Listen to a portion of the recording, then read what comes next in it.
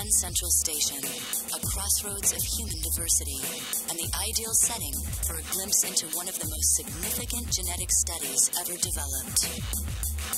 In April 2005, National Geographic and IBM launched the Genographic Project, a massive five year effort to trace our DNA back tens of thousands of years to our earliest ancestors.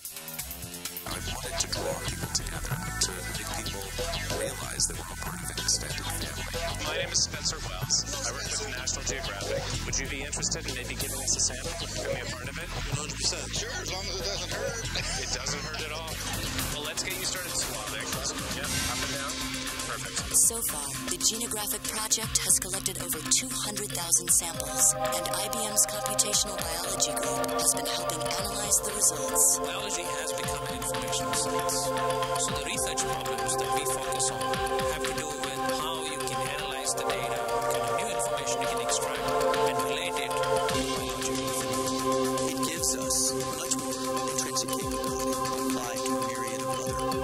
and issues in, in other industries. Everybody that we met at Grand Central that day ultimately traces back to an ancestor in, in Africa. Around 35,000 years ago, a little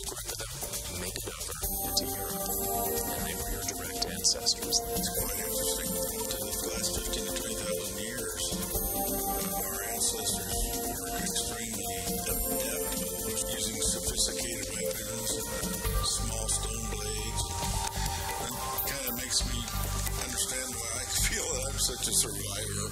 I'm, I'm descended from the first that ever thought to populate the Philippines. That's just that's just mind-boggling. What was surprising was that we were the actual first humans to ever plant seeds, and from that we generated this huge cultivation of crops, and, and we pretty much changed the face of, I guess, mankind, if you would. The cool thing that, that comes out of this research is obviously that we're all connected to each other and that we scattered